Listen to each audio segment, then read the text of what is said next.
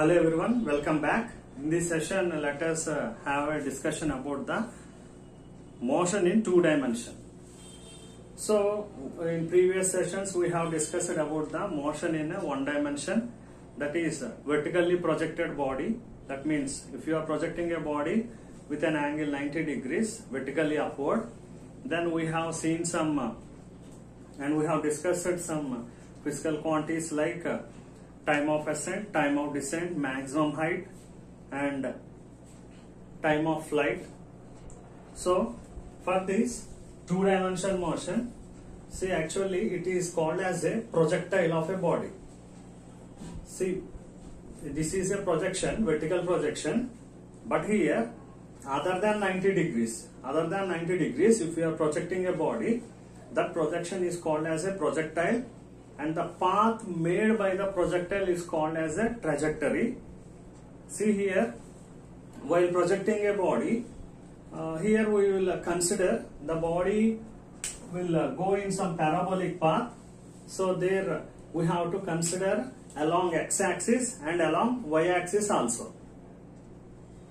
If you consider some examples, see a person is uh, firing from the gun so the bullet which exerts out from the gun will possess this projectile. And a body which is or a javelin throw.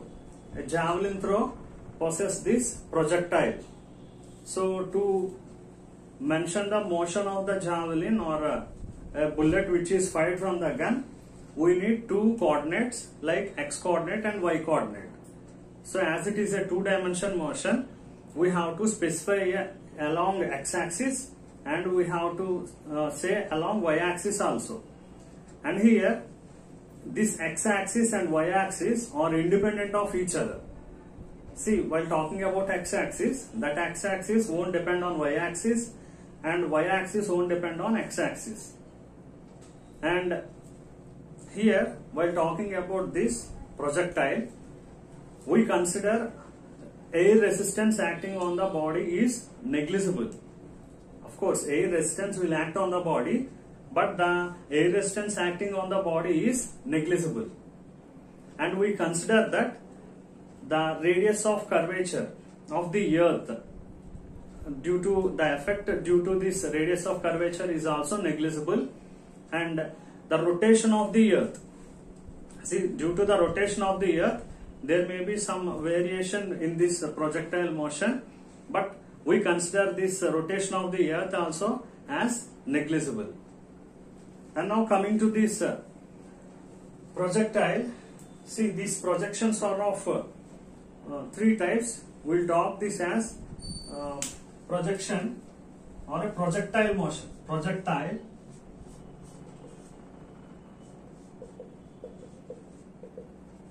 this projectile is uh, one is oblique projection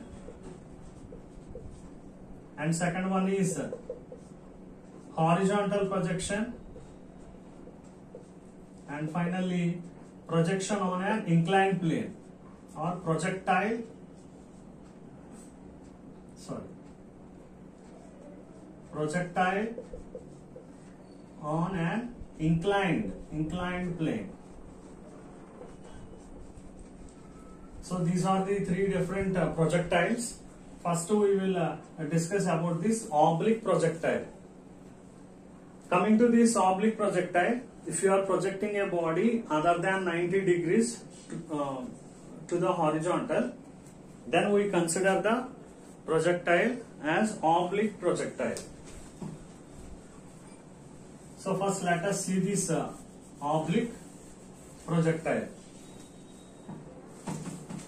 And coming to this oblique projectile, we will consider x-axis and y-axis. See here, we are projecting a body and that projectile is making some angle theta with the horizontal. So, uh, the projectile is moving with some uh, velocity u and whatever the projectile we are projecting that will uh, make a parabolic path See, this is a parabolic path. So let us consider at one point, at certain point P, uh, let us uh, find the displacement made by the body. So at this point, and what would be the velocity of the body along x-axis and along y-axis. So if you consider the velocity of the body along y-axis or sorry x-axis, that is yes as it is projected with uh, some velocity u. So u cos theta is the velocity along x-axis. See this is the angle theta. So the horizontal the vector which is touching theta is cos theta and uh, this y-axis is not touching cos theta sorry this y-axis is not touching theta so this will be u sin theta. Along y-axis that is u sin theta that means along u ux is u cos theta and in the same way uy equal to u sin theta. And here one more thing is see this is having a some velocity v. This is the direction of velocity and this will be we have to divide it into two components along x coordinate that is vx and along y coordinate that is vy. And coming to the acceleration of the body the acceleration along x axis is 0 see there is no acceleration for the body along x axis that means the body is moving with uniform velocity. The body is moving with uniform velocity and along x coordinate. And if you consider the y coordinate that is uh, see the gravity will act vertically downward. So ay equal to minus g. Now let us uh, consider along x axis and along y axis along x axis and along y axis so if you consider here along x axis as the acceleration is 0 uh, first compare with s equal to ut plus half at square. So if you compare that as the acceleration is 0 this whole term will become 0 so you will have only s equal to ut. And this x is uh, s displacement along x axis s equal to ut so here s is nothing but along x axis no? So x equal to along x axis ux into t. So x equal to ux is nothing but u cos theta into t. Or t equal to x by u cos theta. So now let us solve for along y axis also. Along y axis see uh, y axis no? So y equal to uy t minus half g t square. As the acceleration due to gravity is uh, minus g or else uh, let us let me write this as uh, uh, plus half ay t square. Ut plus half at square. So uy is nothing but u sin theta no? So u sin theta and t. We got here t as x by u cos theta. X by into x by u cos theta plus uh, let let it write as minus as ay equal to minus c minus half g into c t square. What is t? X by u cos theta so we can write it as x square by u square cos square theta. Now if you see here this u and u will get cancelled. Sine by cos is tan. So x tan theta minus half g into x square by u square cos square theta. See if you observe this equation, this equation in the, is in the form of some y equal to ax minus bx square. So that means uh, this equation shows that the path of the projectile is parabolic path. This equation belongs to a, a parabolic path. See here, a some variable a tan theta and x minus uh, see this can be considered as b and x square. So this is in the form of y equal to ax minus bx square. So by this we can say that the path of the projectile is parabolic path. Now let us uh, find out the time of ascent for this projectile. Time of ascent. Time of ascent TA. See we know that from the first equation v equal to u plus at. Here time of ascent we are saying no. So consider uh, along y axis and here for the time of ascent the final velocity is 0. So 0 equal to uy plus ay t a as this is time of ascent. So what is uy? u sine theta minus a is nothing but ay is nothing but g no minus c into ta or this can be written as u sine theta equal to gta or ta equal to u sine theta by g. So this is the time of ascent. Now in the same way let us find time of descent also. Time of descent. So the time of descent again take it v equal to u plus at. Here final velocity is not zero. So uh, consider this as vy equal to here initial velocity is zero. So u zero minus a in the sense uh, ay. So minus g td or vy means u sine theta. U sine theta is equal to minus g td or now td equal to u sine theta by g.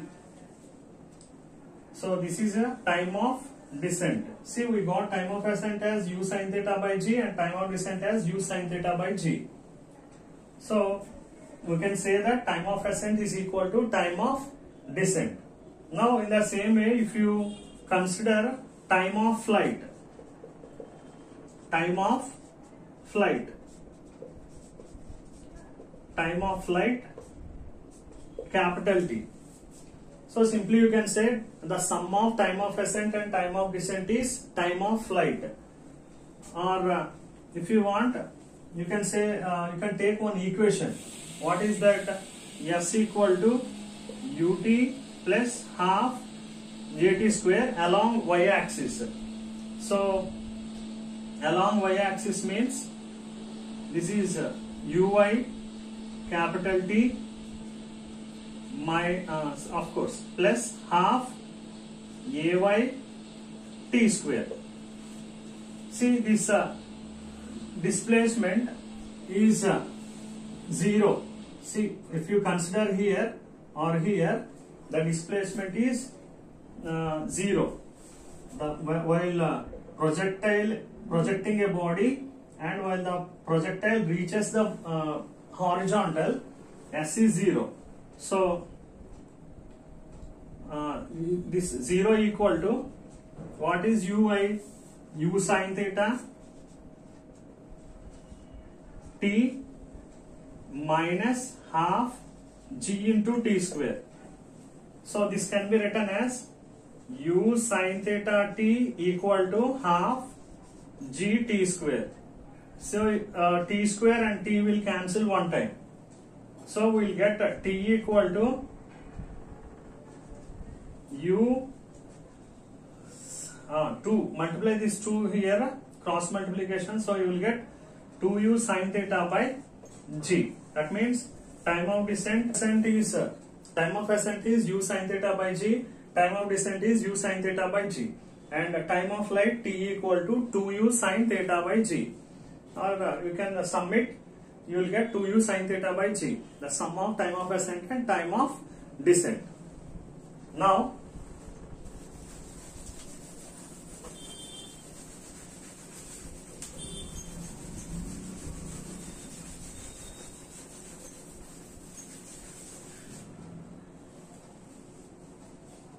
maximum height. Maximum height maximum height h max see for this you consider v square minus u square equal to 2as so at the maximum height. See this is maximum height now this is the maximum height.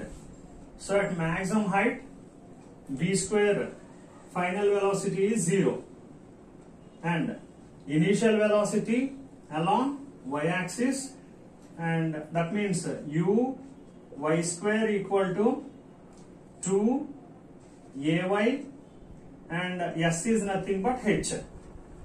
So u y square means u sine theta or u square sine square theta. So that equal to minus 2 g h or h max, write it as h max. Now h max equal to h max equal to u square sine square theta by 2g. So at maximum height h max equal to u square sine square theta by 2g. And now in the same way range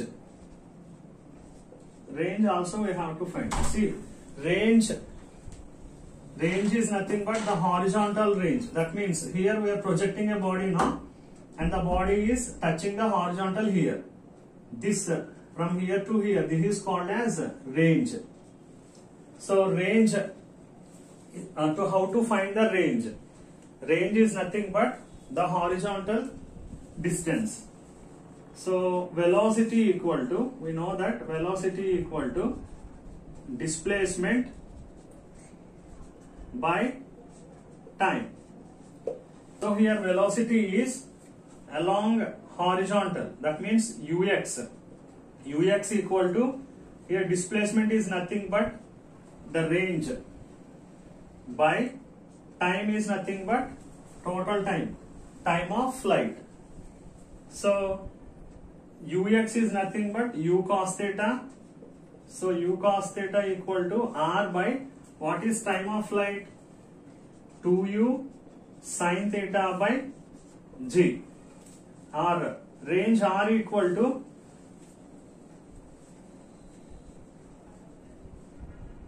two u sin theta by g into u cos theta u cos theta. So here we will uh, have like this 2 u square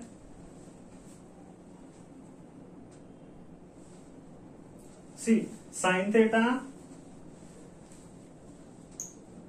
see let us do like this u into u u square and 2 sine theta cos theta 2 sine theta into cos theta by g. So that equal to u square into 2 sin theta cos theta can be written as sin 2 theta by g. So the range r equal to u square sin 2 theta by g. This is range and in this uh, we have discussed about the oblique projection. In oblique projection we have seen uh, the path of the projectile is parabolic path and we have uh, seen time of ascent, time of descent, time of flight and maximum height and range. Range also we have seen here for the oblique projection.